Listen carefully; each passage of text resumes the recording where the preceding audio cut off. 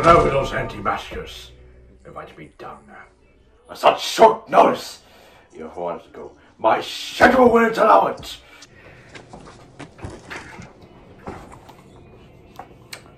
Four o'clock, Warrants of Pity. Four thirty, Stare into the Abyss. Five o'clock, Cure Coronavirus. Tell no one. Five thirty, Jazzercise.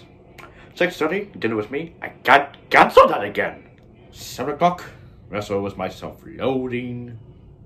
I booked. Of course, if I put loading to nine, I can still be on time to lay the best ever to see and sip slowly into madness. But what would I wear?